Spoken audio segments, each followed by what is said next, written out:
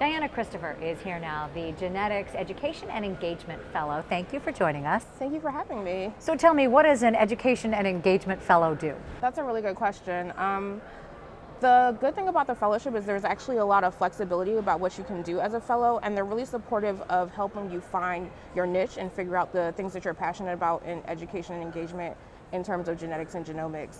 For me, I've done a lot of work with um, healthcare professionals. So one project that I've worked on a lot has been to give healthcare professionals resources to help them respond to patients who have done DTC testing or interested in DTC testing Another project that I've done a lot is going to low income and low literacy communities that have a history of like health disparities and just like health problems in general and really start to remove some of that stigma that comes from talking about genetics and genomics because they hear about genetics and genomics in the news but they don't really understand it and they haven't necessarily started to have those conversations with their family members and their healthcare providers. So a lot of my work has focused around those communities. I've also done a lot of, public engagement with students like high school students um, and even early career and college students mostly ones that are interested in genetics or genomics but are not necessarily aware of all the career opportunities and, and how to get into the research and how to start doing the work. So it's great because they really try to match you with things that, that you're interested in and that you'll be good at and then in hopes that it will help to foster a career for you in that space.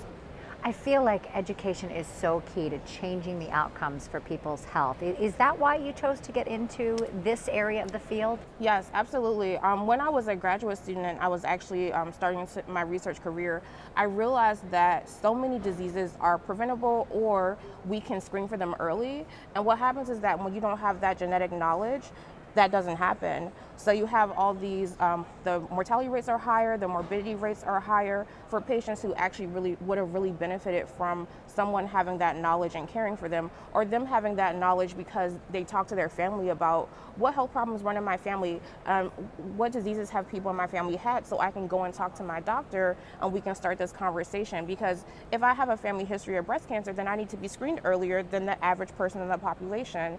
And um, I found that so many people actually just did not know or they were fearful because they heard genetics and they felt like, oh, that's a scary term, or I don't know what that means, and I don't really know what to do with that information. There was a lot of stigma, like people are afraid to share that information with people because they're like, am I going to be discriminated against? Am I going to have problems finding a job? Am I going to have a problem with health insurance? So that really is what made me passionate about the field and to really start the education process because everyone can benefit from knowing more about genetics. Healthcare professionals, um, people in the public, students, really everybody, everybody benefits because everybody's affected by genetics. So, so clearly you're impacting people's lives. How has this fellowship impacted your career? The fellowship has been so great for me because it's really put me in spaces with people that I really admire and whose work I really want to replicate in my own way. And I don't think I would have had that opportunity without the fellowship.